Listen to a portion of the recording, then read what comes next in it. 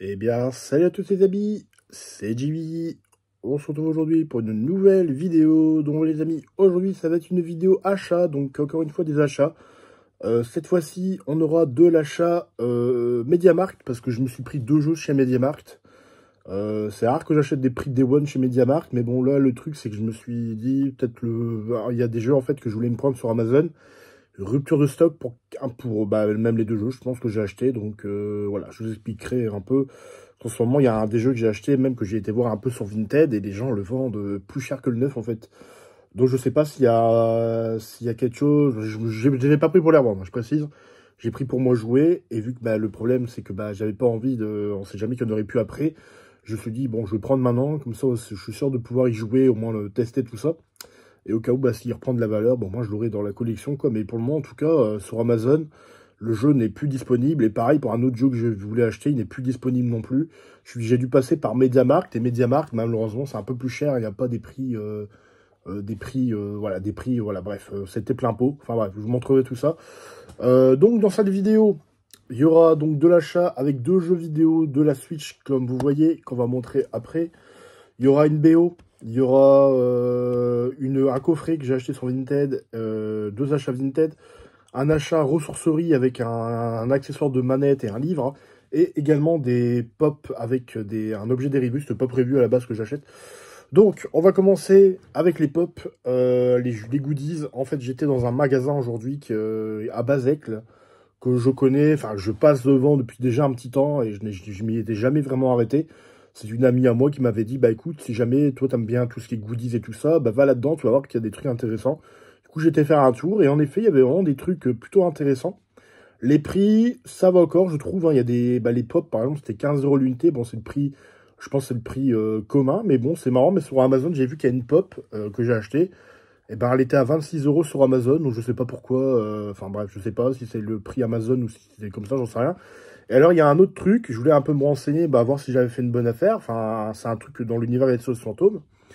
Et j'étais un peu étonné parce qu'en fait, euh, bah, je sais pas, déjà sur, mes, sur euh, Amazon, j'en ai pas vu. Et sur eBay, bah, j'en ai vu plein euh, à des prix genre plus de 30 euros, quoi. Enfin, 15 euros, mais 15 euros avec les frais de port, par exemple. Donc, enfin, plus, plus de 30 euros, donc.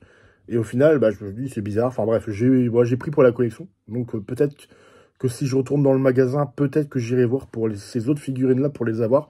J'avais pas non plus beaucoup d'argent, donc euh, voilà, j'ai juste pris euh, trois pop, enfin deux pop et une figurine. Donc, on va commencer avec une pop que j'ai un peu craqué dessus parce que c'est dans l'univers, euh, un univers que j'aime beaucoup, dans l'univers Disney, enfin un truc, voilà, de, avec Mr. Jack. Donc je suis pris le maire, voilà le maire de, hum, de l'étrange de Mr. Jack. Donc sous forme en fait d'édition train apparemment avec des trains, des petits trains. J'aime bien encore le, design du maire personnellement. Euh, je l'ai pris parce que je trouvais ça intéressant. Donc euh, il était quand même 15 euros, mais 15 euros, je trouve que ça reste quand même un bon prix honnêtement pour une pop. Enfin c'est le prix normal quoi. Mais bon, ça reste euh, intéressant. Voilà une petite pop qui est plutôt jolie pour le coup. Hein. J'aime assez bien. Donc pour 15 euros, voilà.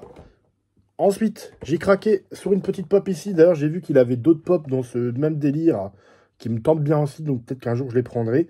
Euh, là, bah, je me suis pris cette pop, voilà, euh, d'un dessin animé que j'aime beaucoup. C'est un de mes dessins animés préférés, d'ailleurs. Je me suis pris la pop de Alice au Pays des Merveilles, voilà, qu'elle est, elle est plutôt jolie. Après celle-là, je me demande si je vais pas la laisser dans la boîte, parce que j'aime bien encore dans la boîte. Je ne sais pas si la figurine va tenir, en fait, euh, va tenir tout simplement sans la boîte, enfin, sans, le, truc. Donc derrière, bah, en tout cas, il y a des pop. Hein. J'ai hésité, ils avaient également le chat, le... le enfin, le sécheur, je sais plus comment il s'appelle, sécheur le, chat. Euh, et il y avait également les, les, deux jumeaux qui étaient là. Hein. C'était 30 euros les deux jumeaux. Euh, J'ai pas vu euh, le lapin ni euh, l'autre lapin là, celui de celui avec son le chapelet toqué là, enfin le voilà les gens toqués. Et la queen j'ai pas vu non plus. Mais bref, il y avait voilà ces deux pop là, donc je me suis été tenté. Il y aurait d'autres pop qui auraient pu m'intéresser, mais ce sera peut-être une prochaine fois parce que les pop j'essaye vraiment d'en acheter vraiment de temps en temps vraiment comme ça quoi. Je pas non plus de faire non plus une collection. C'est vraiment une collection de pop euh, dans, des thèmes que j'aime bien. Donc dans des univers que j'aime bien. Et ensuite, on enchaîne avec cette figurine qui était à 13 euros. 13 euros, bah, je trouvais que c'était un très bon prix. Euh, je sais pas si je la déblisté. Je me demande si je vais pas la laisser dans sa boîte. Parce que j'aime bien euh, comment c'est fait. Donc, je me suis pris une figurine, voilà, de Spengler euh, dans SOS Phantom. Je connais pas du tout la marque, hein, Metal Diecast, ça me dit rien du tout. Euh, voilà, et regardons un peu sur le net pour voir un peu exactement le prix neuf. Ah, je pense que c'est ça le prix neuf, hein, 13 euros. Mais en fait, j'ai constaté que sur Amazon, il n'avait plus disponible. Et, euh, sur euh, bah, le net, eBay, par les gens les vendent assez cher, donc je sais pas, c'est bizarre. Alors voilà donc le, Metal Diecast, euh, voilà, bah, j'ai pris celle-là. Ils avaient également euh, Ray et ils avaient, euh, il me semble, euh, ils avaient pas, Zidmore était pas, Zidmore était pas là, mais il y avait Vecman qui était dispo et, Ray également qui était là, donc un Stance qui est mis là. Donc il n'y avait pas, le, parce que derrière on voit en fait la collection, il n'y avait pas Monsieur Bibadom Chamallow et il n'y avait pas le, Slimer. J'aurais pris d'ailleurs le Slimer, il est assez classe. voilà, donc plutôt sympa. voilà, pour 13 euros. J'hésite. Je sais pas si je vais l'ouvrir en fait parce que j'aime bien le, à moins qu'il y ait un socle pour les faire tenir, je ne sais pas. Hein, mais je me demande si je vais pas laisser dans la boîte pour le moment. Voilà, 13 euros, je trouve que a un très bon prix. Voilà pour ceci.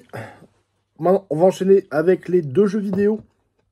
Les deux jeux vidéo, donc c'est des jeux Switch sortis il y a quelques temps. Je pense même qu'il y en a un qui est sorti euh, à vendredi, je pense le 3 mars. Je pense que c'était la date officielle, le 3 mars.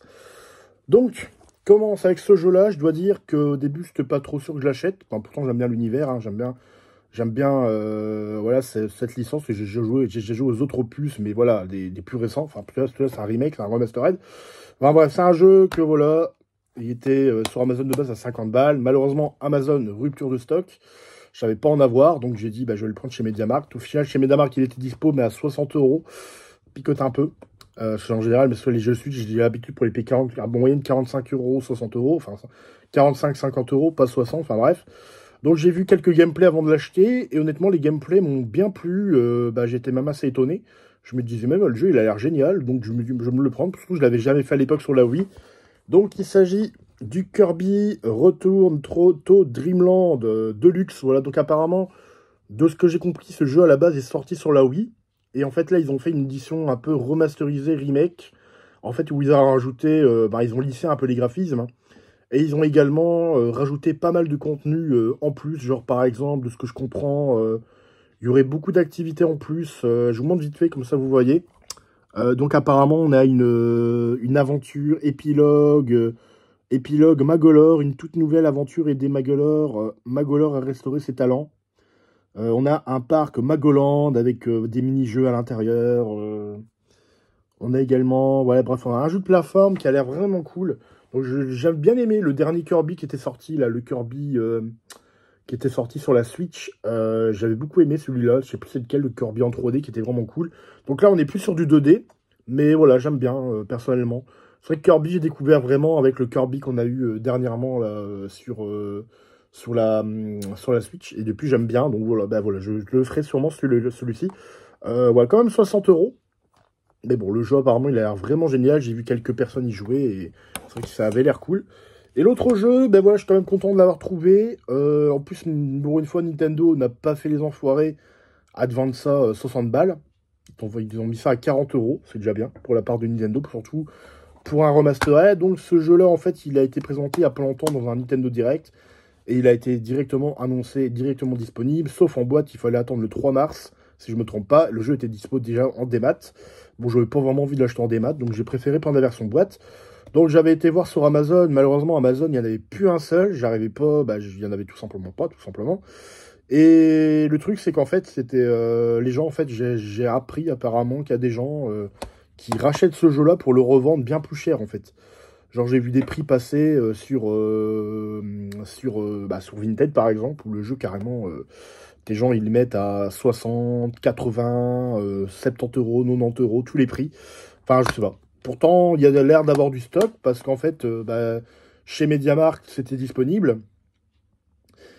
Et il me semble que même... Non, Dreamland ne l'avait pas, il n'y avait que MediaMarkt qui l'avait. Donc, je me suis dit, allez, c'est le moment de le prendre. Au moins, comme ça, je l'aurai dans la collection. Pour 40 euros, bah voilà. Au moins, je l'aurai. Hein. Je pourrais quand même essayer ce jeu, parce que je n'ai jamais joué de ma vie à un, jeu comme ça. Enfin bref. J'ai pris le Metroid, voilà, Metroid Prime. Euh, voilà, comme j'ai dit, j'ai jamais joué à cette licence. À part peut-être le Metroid Dread, mais j'aimais pas trop. Donc là, on verra ce que celui-ci vaut. Euh, donc je testerai un peu tout ça. Hein. Je pense que j'ai joué sûrement euh, sur la télé, pas la Switch en main, je pense plus avec une manette, je pense, ça va être plus confortable.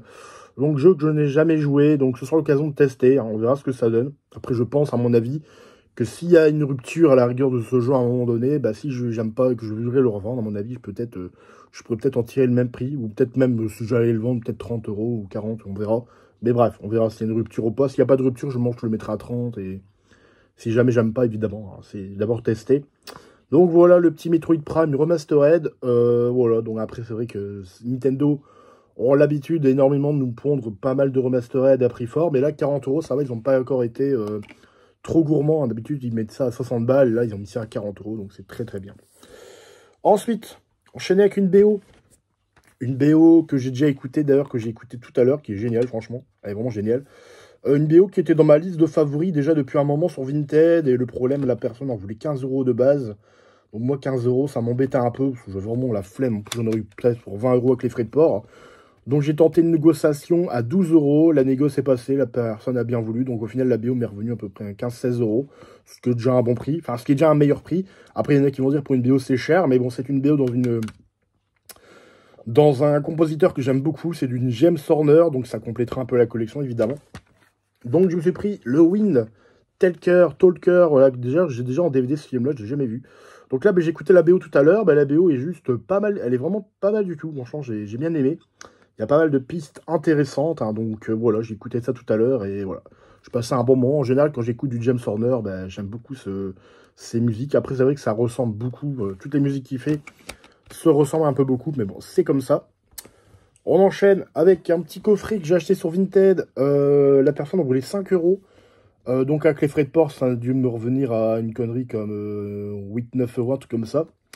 Donc euh, en fait, il faut savoir que j'ai vraiment pris pour un film en particulier, parce que les deux autres, je les ai déjà. Et puis bon, je garder cette édition parce qu'elle est jolie. Donc c'est encore une fois du X-File. Donc je me suis trouvé The X-File Anthologie 2. Donc voilà, je me pose la question Anthologie 2, s'il n'y aurait pas une Anthologie 1 par hasard? Logiquement, ça devrait être le cas. Donc à l'intérieur, en fait, pourquoi j'ai pris? Parce que base, j'ai déjà quelques films. déjà, ce film-là, savoir que je l'avais déjà.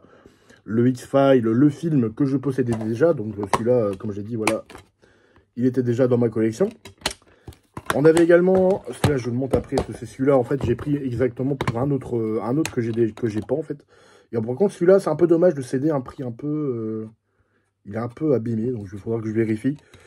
il y avait également dans le coffret le X-File Providence, voilà tout simplement, X-File Providence. Et de ce que... Ah, ben attendez, attendez.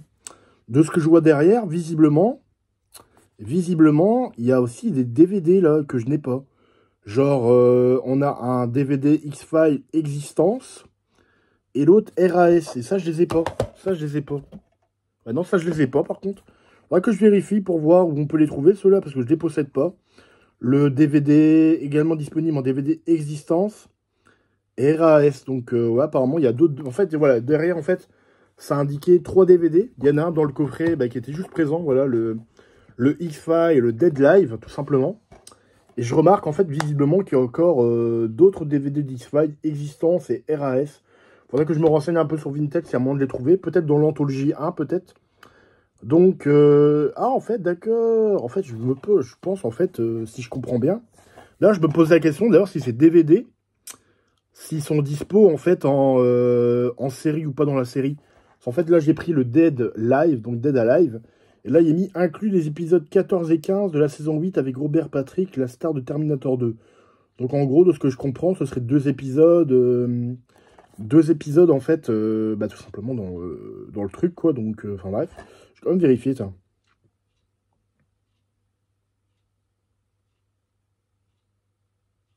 Moi, je dirai après parce que j'ai pas envie de vous spoiler, en fait, le, film. Enfin, là, parce que cette série, faut vraiment, quand on lit des trucs, c'est un peu du spoil quand même parce qu'il y a tellement d'intrigues là-dedans.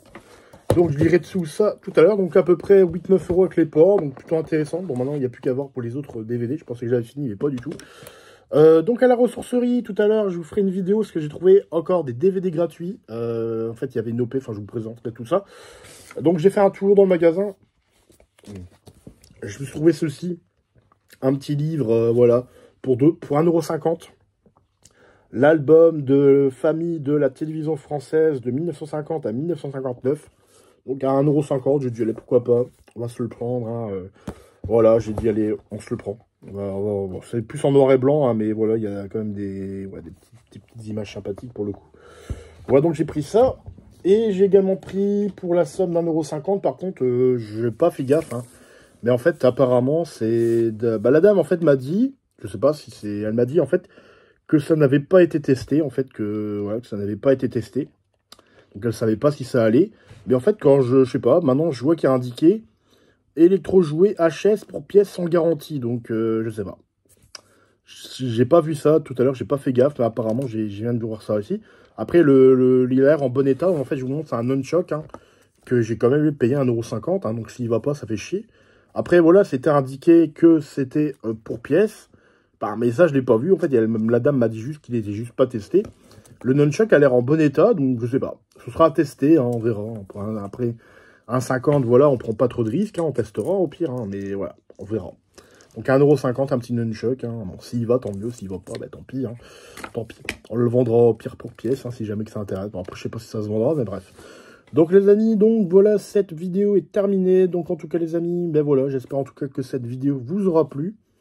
Donc les amis, ben je vous souhaite à tous une très bonne journée, une très bonne soirée, une très bonne nuit. Ça dépend quand vous regardez la vidéo.